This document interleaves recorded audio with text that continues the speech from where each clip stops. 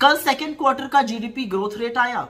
GDP की growth 6.3 6.3 percent पे हुई है।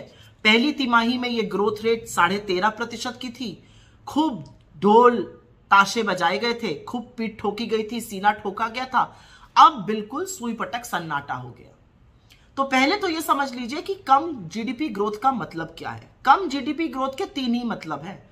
उपभोग कम हो रहा है, निवेश कम हो रहा है और नौकरियाँ कम बन रही हैं। नौकरियाँ नष्ट हो रही हैं और वो बेरोजगारी में, कम आय में, गुर्बत में दिख रहा है। तो पहली बात तो ये हो गई। अब बजाय समस्या का समाधान ढूँढने के, समस्या का निवारण करने के, सरकार के बददिमाग प्रवक्ता, ट्रोल आर्मी, नासमझ नेता और कुछ चरण चुंबा के खर्रा लेके दौड़ने लगे। उस खर्रे में क्या लिखा है? उस खर्रे में बताने की कोशिश की गई है कि इंडिया की जो ग्रोथ रेट थी, वो यूएस से चाइना से यूके से फ्रांस से सऊदी अरेबिया और पाकिस्तान से ज़्यादा है। तो सबसे पहले तो मुझे बहुत बड़ी आपत्ति है कि साढ़े आठ साल सत्ता में रहने के बाद आपने हमको पाकिस्तान के समकक्ष खड़े कर दिया। पाकिस्तान को हम बहुत पीछे छोड़ आए हैं।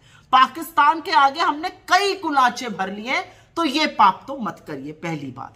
दूसरी बात, एक चीज़ का जवाब ज़रूर दीजिएगा। यूएस की जीडीपी का क्या साइज़ है? करीब 21 से 22 ट्रिलियन डॉलर चाइना की जीडीपी का साइज़ है 19 ट्रिलियन डॉलर और इंडिया की जीडीपी का साइज़ है तीन ट्रिलियन डॉलर तीन ट्रिलियन डॉलर 19 ट्रिलियन डॉलर और 22 ट्रिलियन डॉलर अब अगर हम बहुत ज़्यादा भी ग्रो करेंगे तो उतना ऐड नहीं कर पाएँगे। जो यूएस और चाइना जैसी इकोनॉमीज अपने जीडीपी में ऐड कर लेंगी। पहले तो यह समझ लीजिए। दूसरी, उससे भी इंपॉर्टेंट बात आपके लिए समझनी ज़रूरी है। यूएस में प्रति व्यक्ति की आय पर कैपिटा इनकम करीब सत्तर हज़ार डॉलर है।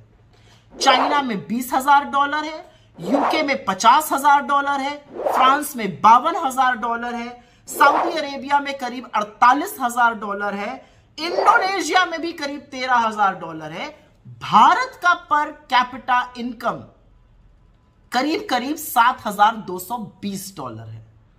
हमसे दस गुना यूएस है, हमसे करीब सात गुना यूके है, हमसे करीब साउथ गुना सऊदी अरेबिया है और हमसे ऑलमोस्ट डबल तो इंडोनेशिया भी है। तो पर कैपिटा आय, पर व्यक्ति की आय से भी अगर आप कंपेयर करिए तो अभी हम बहुत पीछे हैं। तो जब कंपैरिजन करना है तो लाइक टू लाइक इकोनॉमीज पे करना चाहिए। असलियत तो यह है कि भारत के जीडीपी का बंटाधार और सत्यानाश तो आपने कोरोना का एक केस आने से पहले कर दिया था।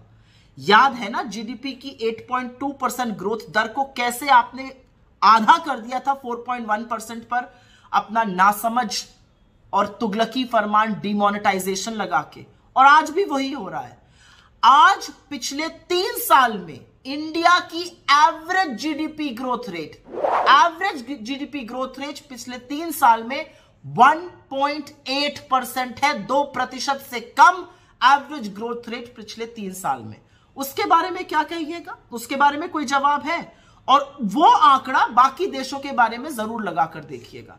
आपकी कृपा रही तो हम 40 साल में पहले रिसेशन में चले गए थे। साढ़े सात प्रतिशत इकोनॉमी हमारी संकुचित हो गई थी एक साल में, जो बाकी इस किसी देश की नहीं हुई।